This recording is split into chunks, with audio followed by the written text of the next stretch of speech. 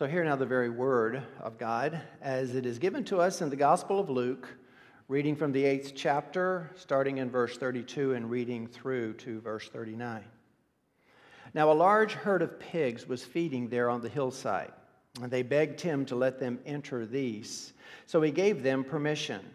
Then the demons came out of the man and entered the pigs, and the herd rushed down the steep bank into the lake and were drowned. When the herdsmen saw what had happened, they fled and told it in the city and in the country.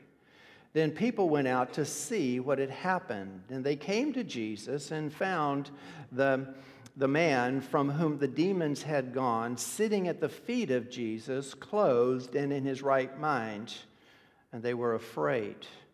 And those who had seen it told them how the demon possessed man had been healed. Then all the people of the surrounding country of the Gerasenes asked him to depart from them, for they were seized with great fear. For he got, and so he got into the boat and returned. The man from whom the demons had gone begged that he might be with him, but Jesus sent him away, saying, Return to your home and declare how much God has done for you. And he went away, proclaiming throughout the whole city how much Jesus had done for him. And may the Lord bless this, this hugely impactful word to us this morning. Give me the words to clearly um, bring the meaning out. Let's pray and ask for that. Father, we ask for illumination, and I ask for clear words. I ask for concise and clear speech so that I can articulate the, the beautiful, not just the, the scene that's before us, but also the, the deep spiritual meaning that's all wrapped up, not just in this part of the story, but the entire story going all the way back to your parable of the soils and the sower. So, Lord, I pray your guidance, your direction, your words, and your illumination so that we might truly understand this and apply it uh, in, in our hearts and in our lives. In Christ's name we pray. Amen. As you might have detected from that prayer, I've got a big task in front of me. I need to kind of sort of bring this entire epic story together. And as I was thinking about ways that I, I would do that, my, my mind just stumbled upon that third chapter of John that Brother Freddie read you earlier.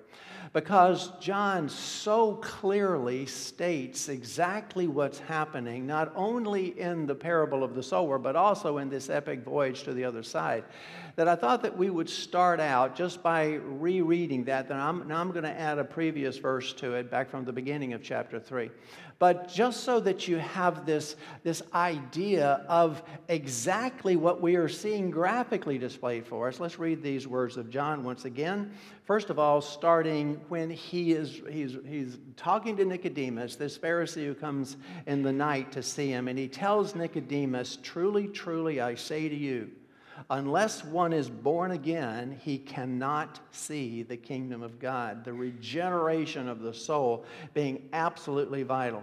And then jumping to verse 16 For God so loved the world that he gave his only Son, that whoever believes in him should not perish but have eternal life. Now, most people just kind of pull that verse out of context. I mean, they love that verse and they don't read anything that follows, but Jesus puts it in a vital context. For God did not send his Son into the world to condemn the world, but in order that the world might be saved through him.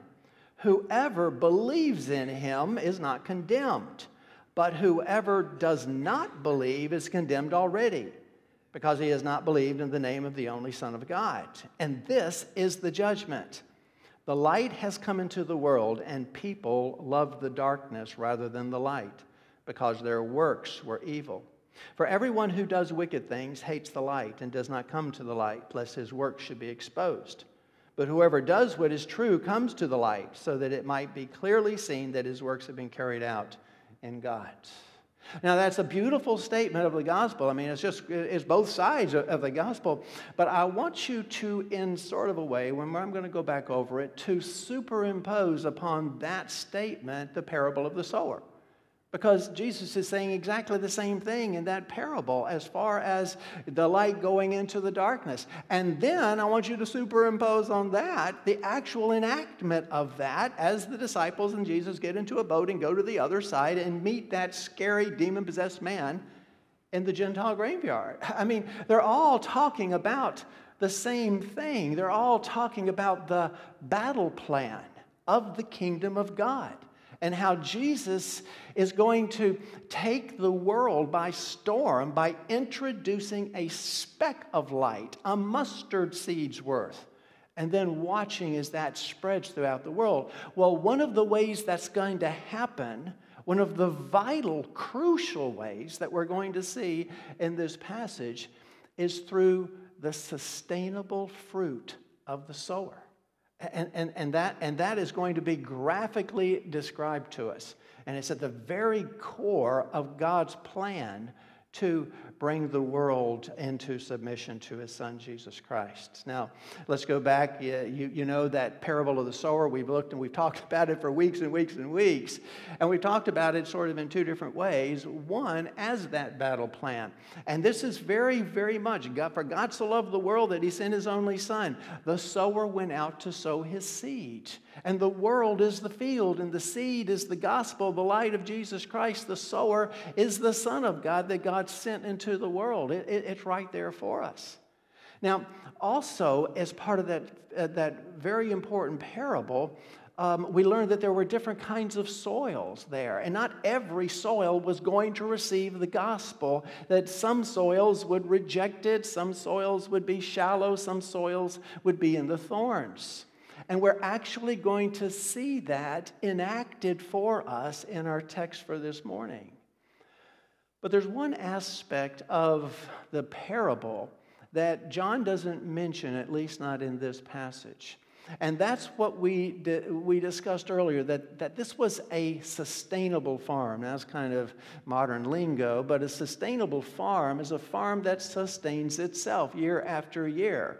And so, therefore, every year when the, when the, the fruit would be born from the good soil a hundredfold, the farmer would take a portion of that fruit and well, most of it he would consume in one way or the other, but he would take a portion of that fruit and he would set it aside so that he could sow his field again next year.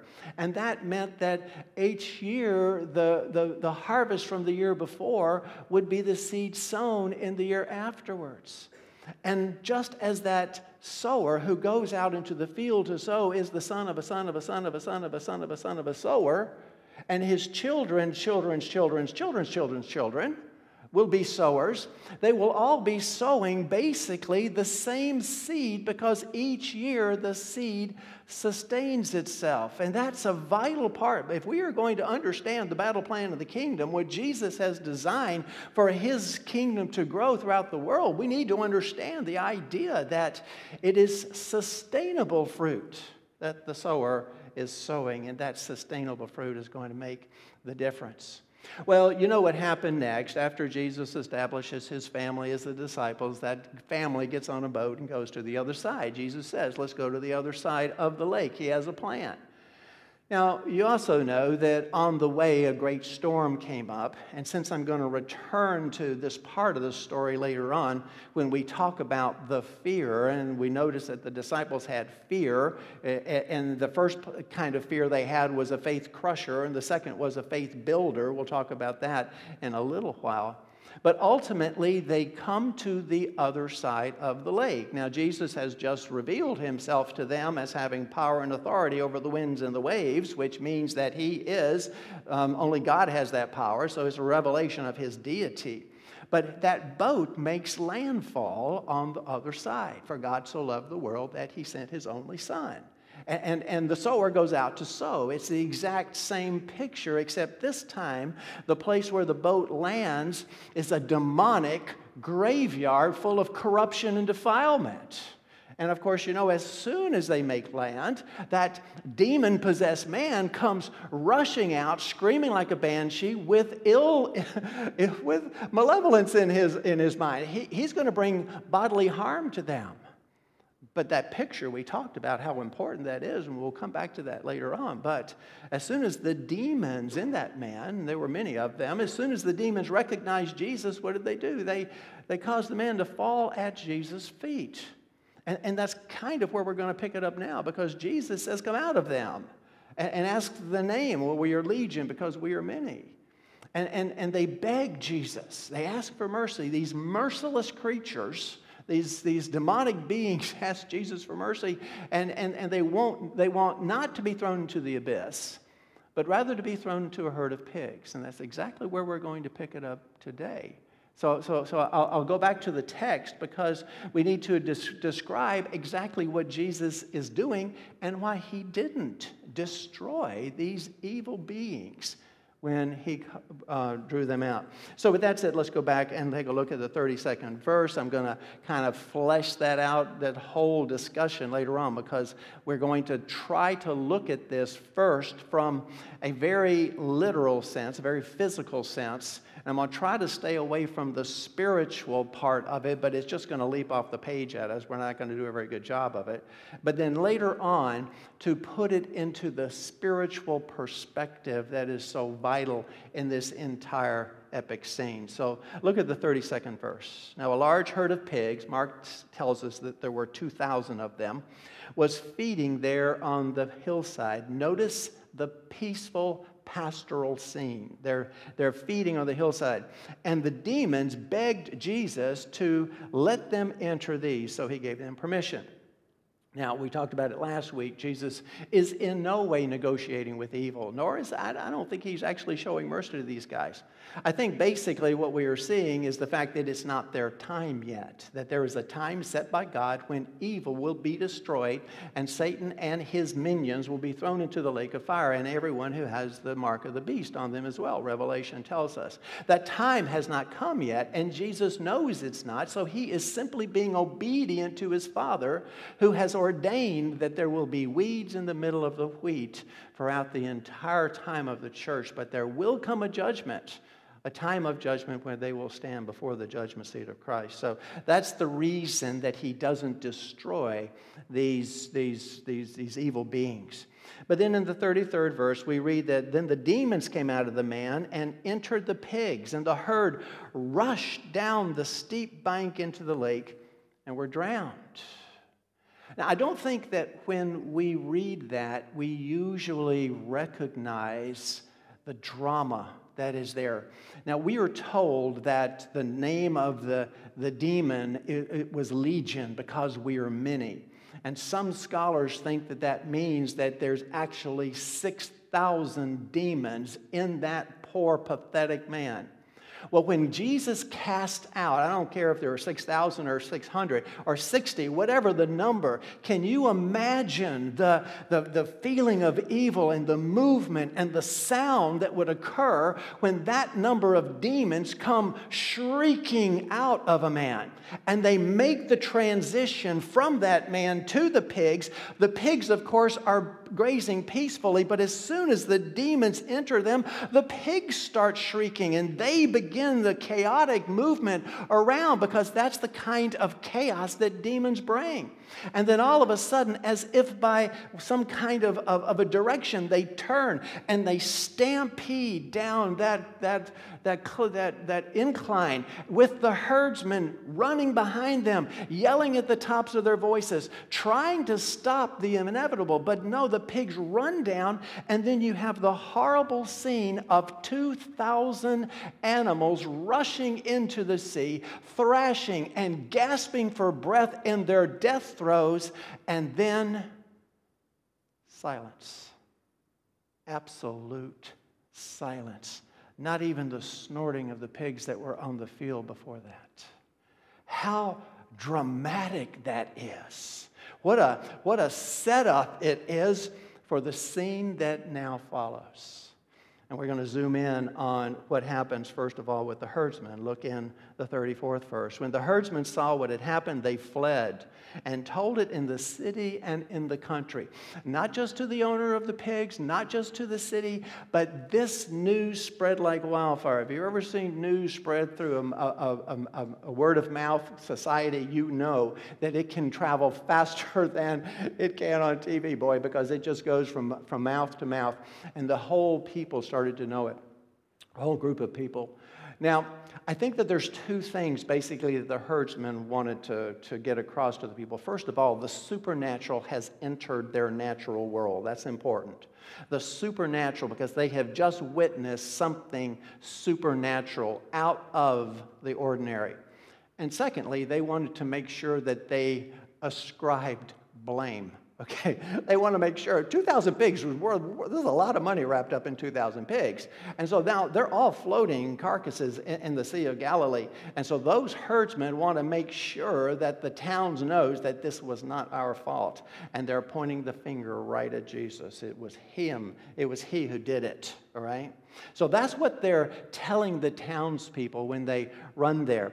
And so the townspeople come out. I don't think much time passes because Jesus and the, the, the, the, man and his disciples are still there. Look at the 35th verse. This is a, a vital verse for us to see. Then people went out to see what had happened. And they came to Jesus and found the man from whom the demons had gone out, sitting at the feet of Jesus clothed and in his right mind, and they were afraid. So the town comes out, and I think basically there's three things that they want to find out. First of all, they want to see what on earth happened to these pigs. Secondly, they have heard that the supernatural has now manifested itself in their natural world. And thirdly, they want to see this man who has been accused of being the one who brought it all about. So they want to go check the whole situation out. Now, notice the first thing that we hear is that they came to Jesus.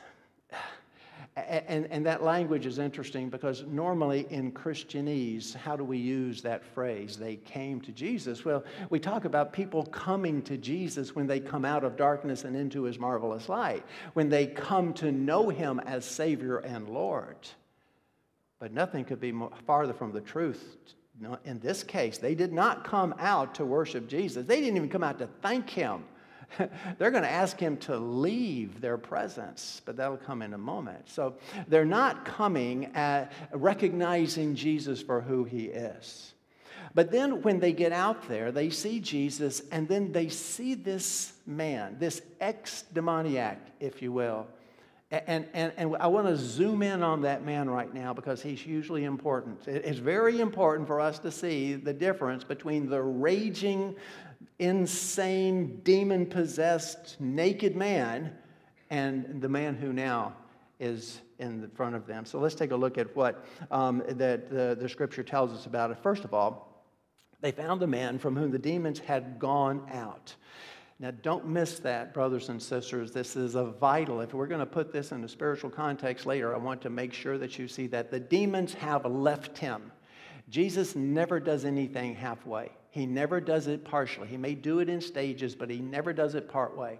So there is no vestige whatsoever of the demon left in this man. They are all gone. No matter how many thousands there might have been, they are all gone, and the man is left cleansed. There is not a demon to be found. Okay, that's hugely significant later on when we look at the spiritual. Now, we see the man sitting at the feet of Jesus. Now, what does that body language suggest? When you see someone sitting at the feet of someone else, it's a sign of subservience. It's a sign of humility. It's a sign of, of dedication. It's a sign that this man has now devoted himself. Later on, we're going to see that he tries to get into the boat and go home with Jesus. He's devoted himself. Jesus has changed his life. There's a complete and total change in this man. He's not running around the tombs anymore. He is at the feet of the one who saved him. That's hugely significant. Third thing that we see is that he's clothed. We talked about his nakedness last week. And the fact that in Scripture, nakedness speaks of a shame that came with the fall. The first thing Adam and Eve recognized when they sinned against God was that they were naked. And God, in His mercy, covered them by killing some animals and covering them with their, their skins. Well, now this man who has spent many years running around the countryside, stark naked, is at the feet of Jesus and he is clothed. Where did he get the clothes? Where did he get the robe? Where did he get whatever he's clothed with? It's not his. Jesus provided that robe, and hopefully you're beginning to see the spiritual ramifications of what we're talking about. The man is clothed again. His shame is covered by a robe that Jesus has given him. And finally, the man is in his right mind.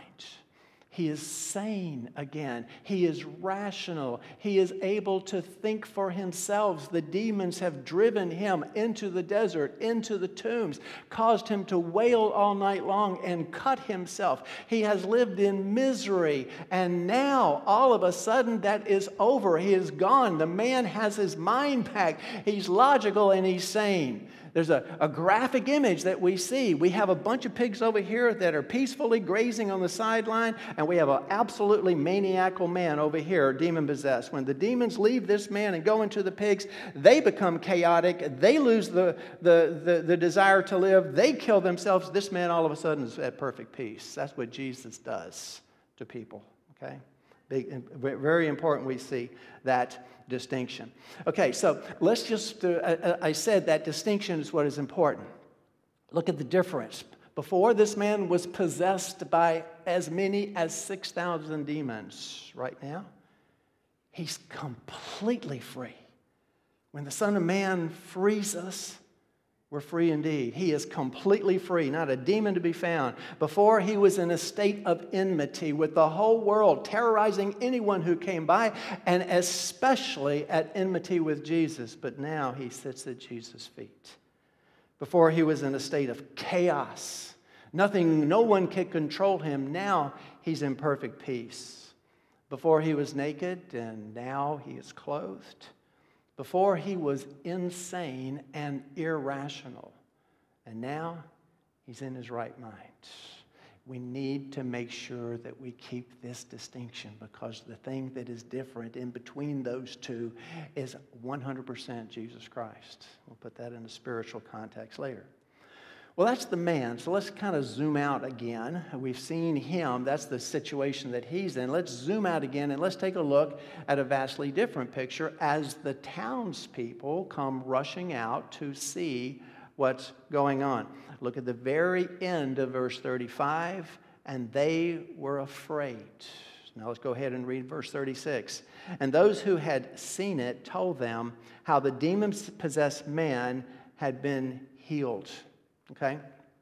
Now, um, I, I want to talk about fear in a bit. But the reason I went ahead and read 36 is I want you to see what the basis of the fear is, why the people are afraid. Later on, at the end of the 37th verse, or in the middle of it, we are going to see that they were seized with a great fear.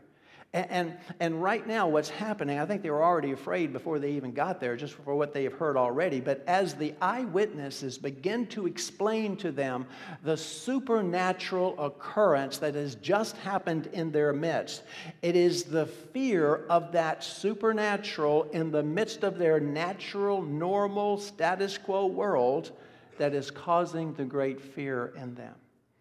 But I want, I want to just kind of pause here and please stay with me because I'm trying to bring this whole epic story together.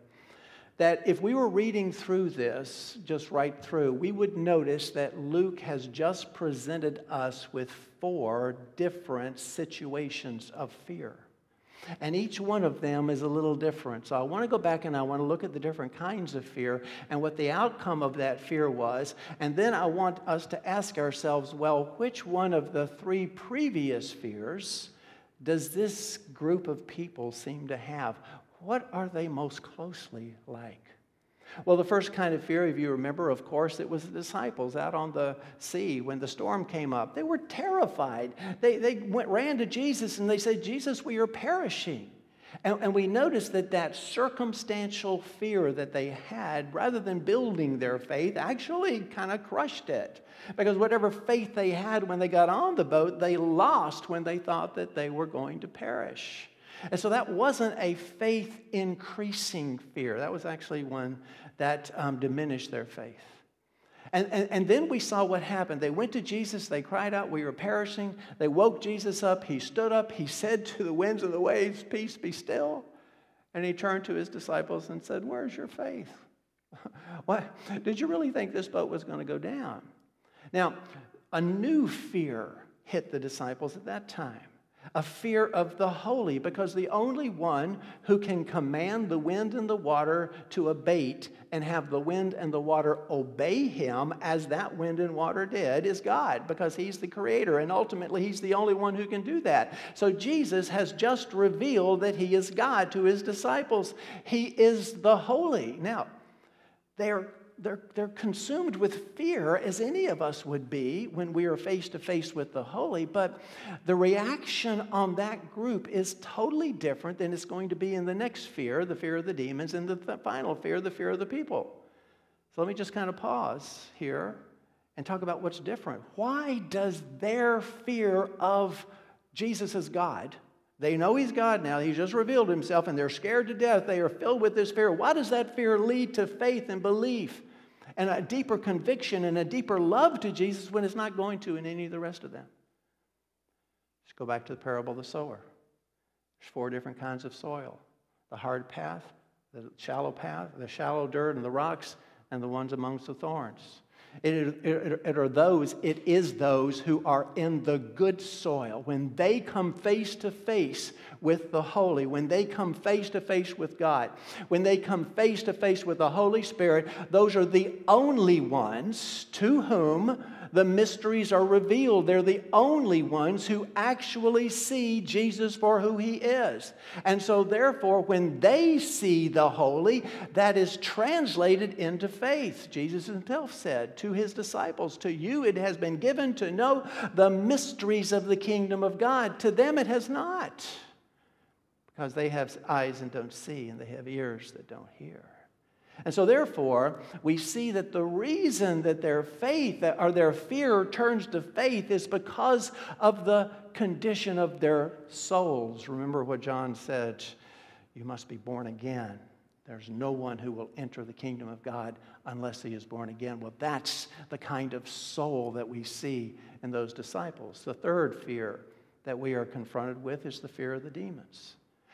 Now, the word fear or the word afraid is not specifically used there, but we saw that when the, that demon, I mean, that demon possessed man is running at Jesus and the disciples, man, with every intention of doing them harm, as soon as the demons recognize that Jesus is who he is, they fall at his, at his feet.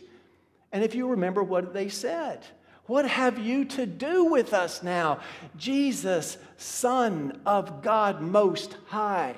There is one God, and the demons know it. And James says they know it and they tremble. It terrifies them. And so they beg Jesus, don't throw us into the abyss, throw us in to those pigs instead. And, and, and, and, and I just want you to, to, to, to, to see that they recognize that Jesus is God just like the disciples recognize that Jesus is God. What's the difference? What's the difference? How come the disciples that turns into faith and the demons it turns into hatred and enmity against God because of the conditions of their being. They're evil beings with evil souls and, and, and, and evil intent. And so, therefore, when they come face to face with the holy, as John said in his third chapter, they hate the light. And so, therefore, they want to get out of the light as much as they can. So, they beg Jesus, throw us in the pigs so that we will get out of the torment that we are under when we are in your presence.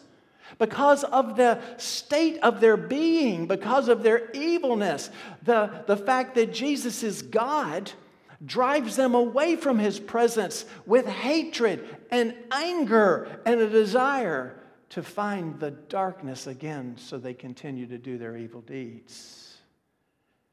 Which brings us to the fourth kind of fear.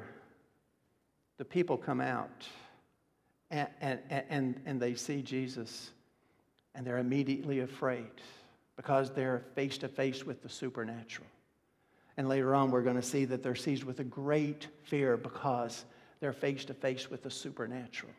Now, that in and of itself is a perfectly normal reaction. I think any of us, when we were confronted, if we were confronted with the supernatural in that sense, would be terrified. There was a fear. But did the fear of the people who came out and saw Jesus, did that fear turn into faith and belief? Did they fall on their faces before Him to worship Him, to give Him the glory, to recognize Him as the holy? No, they didn't. Rather, they asked Jesus to leave. So, which kind of fear is their fear the most like? That of the demons. You see, because they asked for the same thing the demons asked for, just in a different way. The demons asked to be thrown into the pig so they could get out of the presence of the light.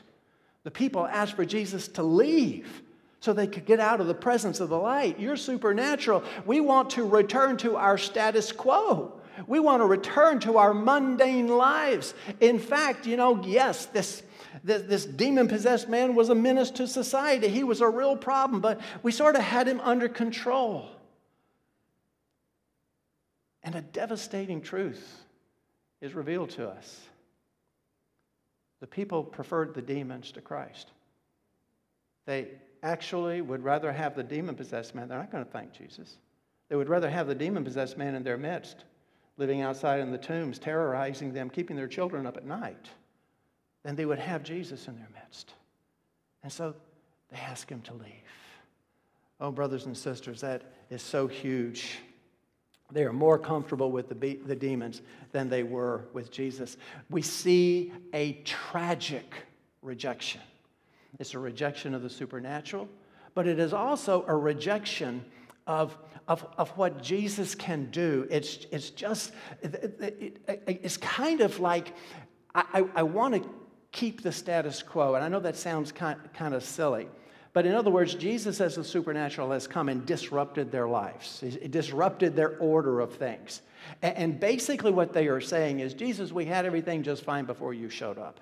You know, we, yeah, we had this problem with the demon possessed man, and yes, he was terrorizing us, and yes, all these things were bad, but we also had 2,000 pigs over there and all the money that they could bring us. So, whatever it is you came to do, whatever you're capable of doing, yes, we have sick, yes, we have needs, yes, it would be wonderful for you to heal and transform so many of the people that we could bring for you, but we are able to take care of that. We don't need you.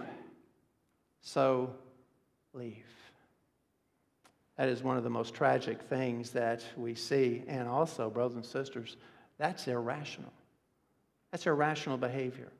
For Jesus to come there and to take what was a major menace to them this man living in the tombs, a naked man running around terrorizing everybody who came by, blocking the road from the town to the sea, as I said, keeping their children up at night. Jesus comes and he, he turns him into a law abiding, rational, sane, decent individual who could be a positive impact on society. And they, not that they, they, they, they, they, don't uh, praise him, they don't even thank him.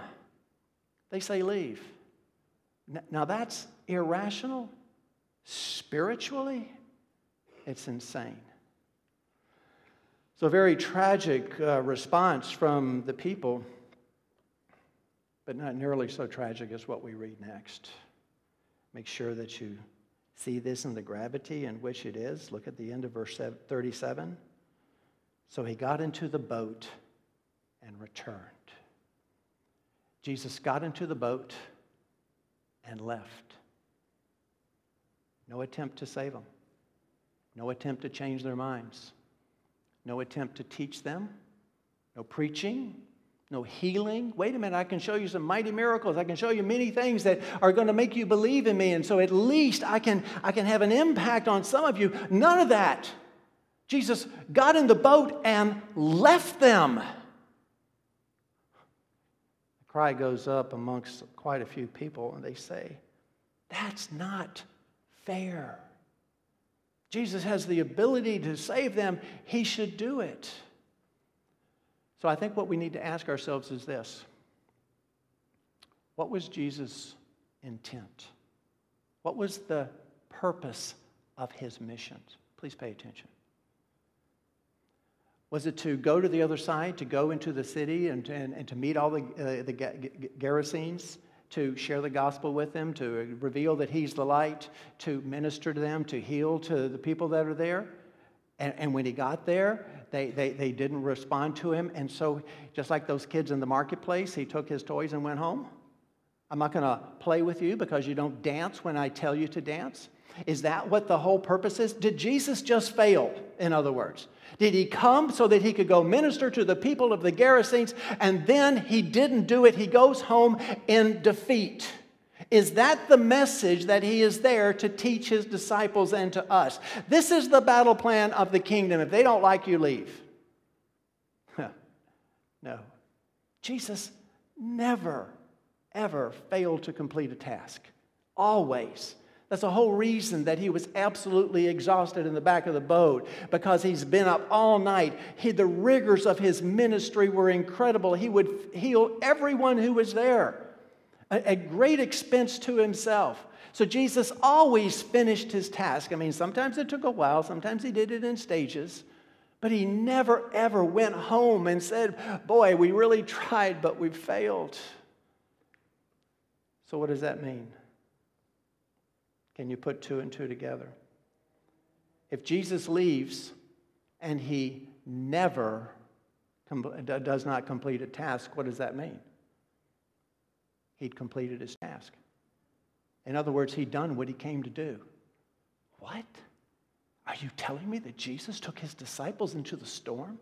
and across the lake to the other side at great expense to them. And they thought they were going to die. And he goes into a foreign land. And the reason that he goes there is this one demon possessed, screaming Mimi of a man that, that is stark naked. That's the reason he went over there.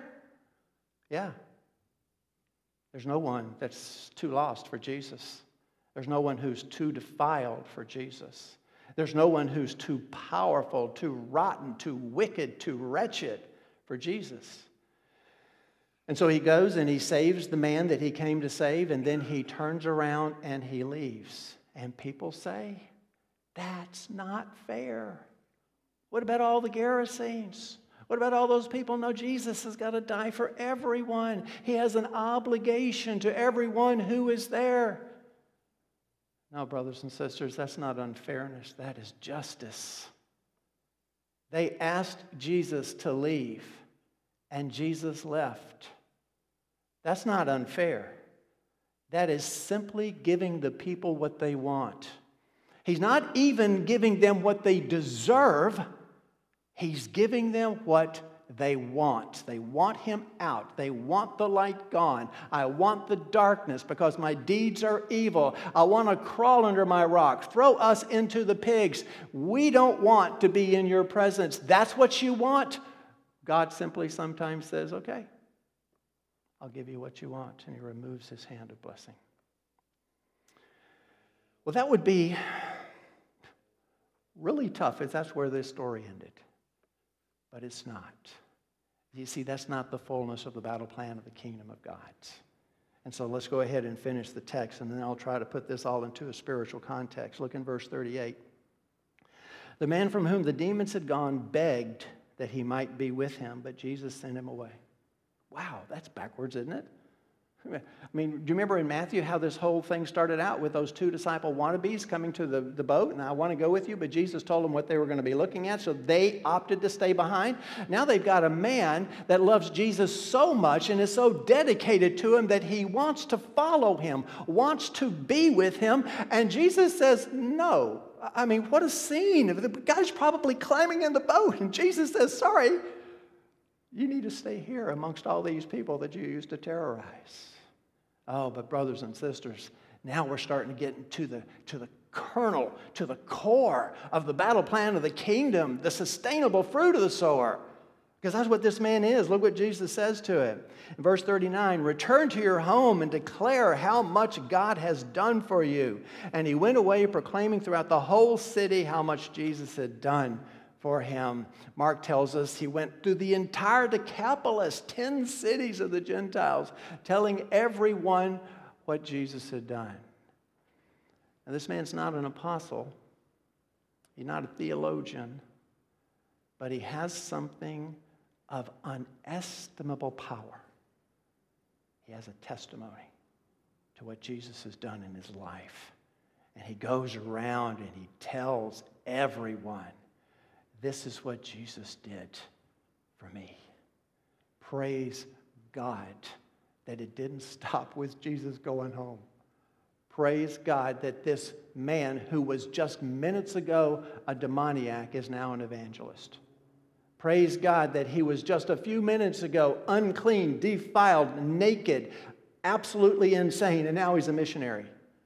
You see, that's what God does to people. That's what Jesus does to people is turn them around and take broken vessels, people of absolutely no value, that, that, that have no skills, give them a testimony, and then send them out in the world to be the sustainable fruit of the sower. Brothers and sisters, that's how the kingdom grows. That's why we're here. So, hopefully, you can see the spiritual ramifications here going all the way back to that passage by John. John tells us that God has a plan of redemption. He sent his Son into the world to save the world. And whoever believes in him will have eternal life. It is just that simple. But he says, whoever doesn't believe in him, it's not a sugar coated gospel, it's not a one side gospel. Whoever doesn't believe in him is already condemned. You're in a state of condemnation, just like that man living in the tombs. He's condemned. There's no hope for him. Nothing can change his life except Jesus Christ. So you must be born again.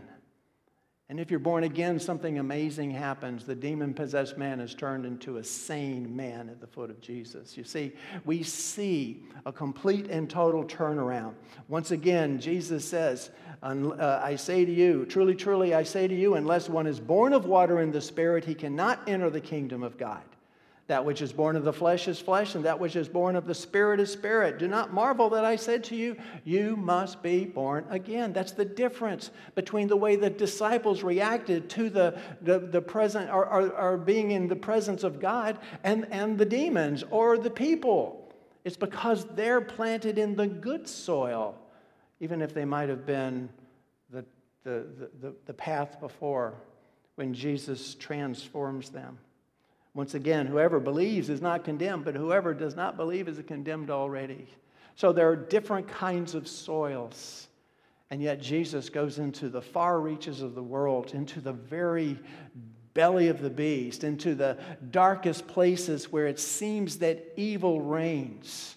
And he transforms lives. He takes away the sins. What a beautiful picture of the gospel of Jesus Christ because Jesus is the one who turns us in from, from demoniacs. And by the way, brothers and sisters, don't miss this, this whole scenario. don't look at this demoniac and say, oh, what a disgusting creature, because spiritually speaking, that's you. And it's me. You see, that's where we are spiritually, and, and, and, that's the picture that we are given. We, we have no capability of saving ourselves. We are driven, we are under the thumb of Satan. We are bound by our own sins. We are slaves to our sin. And so, therefore, we need a redeemer. We need a savior. We need someone to come and set us free, just like Jesus did when he cast the demons out. That's the only way any of us are ever going to be redeemed. But that's what Jesus did on the cross, and you know this. He died on the cross for our sins so we could be forgiven, so that those sins could be paid for. We call that propitiation. So that those sins could be removed from us, just as Jesus took those demons and cast them into the pigs. He takes our sinfulness and he removes them as far as the east is from the west. But that's not all he does, is it? He clothes us. He, he clothes us with His righteousness. You're still not going to be able to stand before God with your righteousness. You can't. I mean, I don't care how good you are. Your own righteousness is not enough to get you into the presence of a holy God. You will be instantly destroyed.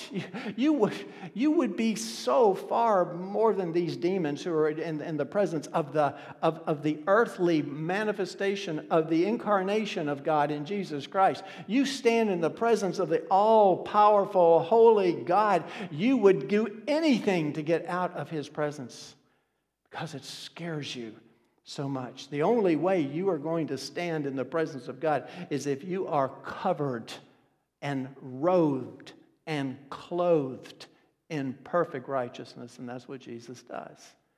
Those are the, the robes that are needed for the wedding feast of the Lamb, and those who will not be considered as impostors and thrown into the outer darkness where there is weeping and gnashing of teeth. And so, therefore, we see the beautiful picture here of the, of the redeemed, uh, of, of the born again man in his right mind at the feet of Jesus, clothed with not even a trace of the demon in him. By the way, brothers and sisters, please mark this down. It would be ludicrous, it would be an absolute aberration of this story if that man, after Jesus had thrown out the demons, continued to run around the, the tombs, a naked man screaming in the night. You see, that's gone with the old man. The new man is at the feet of Jesus, sane in his mind.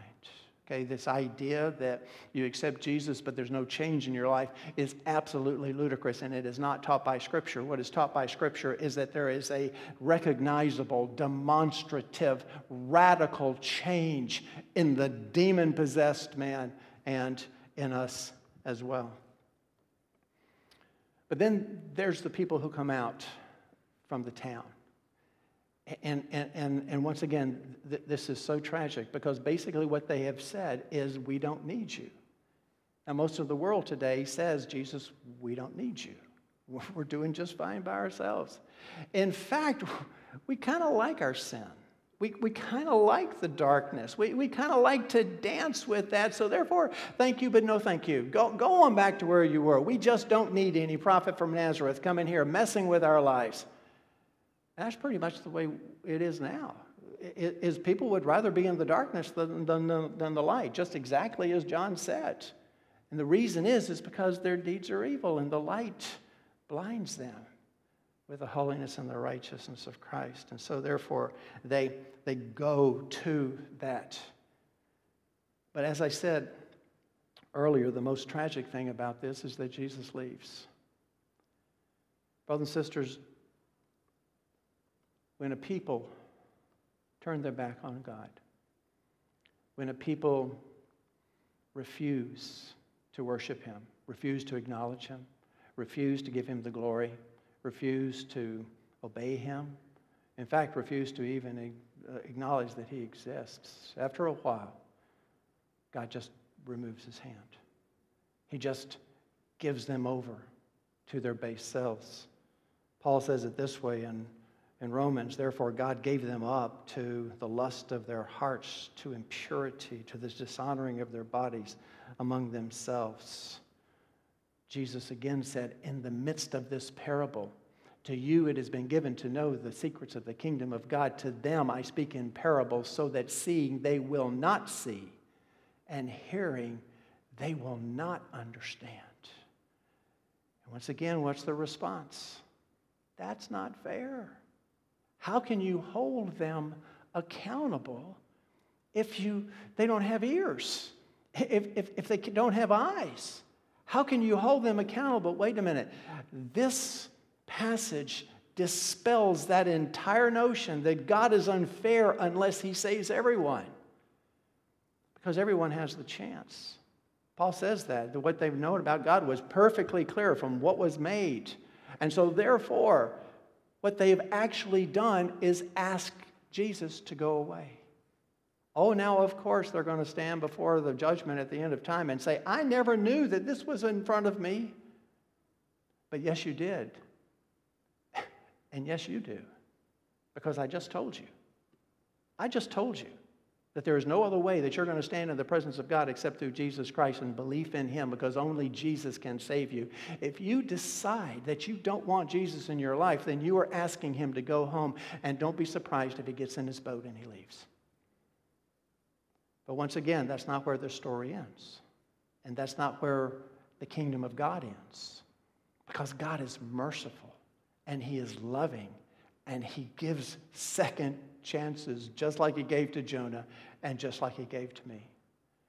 Brothers and sisters, I rejected the gospel hundreds, if not thousands, of times before finally, at almost 40 years old, I accepted it not finally it got through. So god didn't give up on me. He, he knew there was going to be a process that would take. And so he left seeds of the sower.